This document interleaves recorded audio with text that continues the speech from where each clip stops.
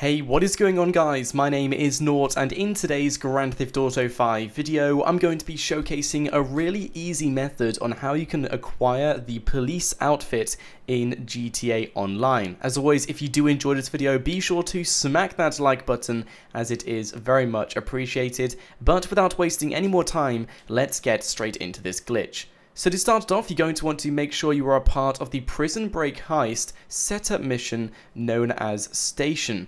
You're then going to want to make sure you are on the police team. Once you're on that team, you're going to want to make sure you are wearing the policeman outfit.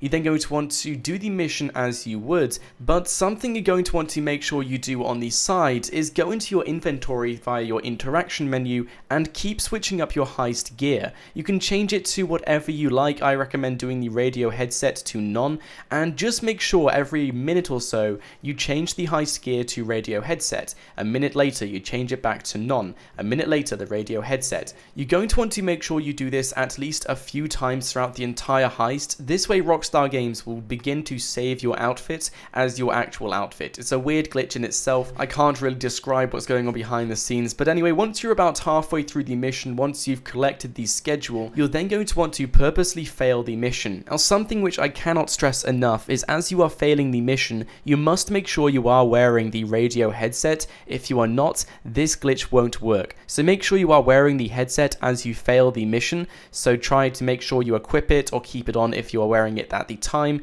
and once you've failed it, you're then going to want to press X or A to go straight into free mode, and what you will notice is as you go back into free mode, your character will now be wearing the police outfit. You can do this with any other outfit in any heist mission of your choice, of course you can get the garbage man outfit, the police outfit, and many more you can get in heist missions. It's a very easy glitch and I believe this will also work in jobs as well. As long as there's a secret outfit you want to get, make sure you keep changing your heist gear and you will get it. I have been getting a few reports about people not getting this done first time. If this is the case, just try this glitch out again and again and again. If you don't get this done within three times, I really don't know what you are doing wrong because I got this done first time, my friends got this done first time, someone else on my team also had the outfit carried through as well. So it's a very easy glitch to do and like I said, I recommend all of you guys do it. Especially that this glitch is going to be patched sometime soon as it is an outfit glitch and police outfit glitches always get patched by Rockstar Games,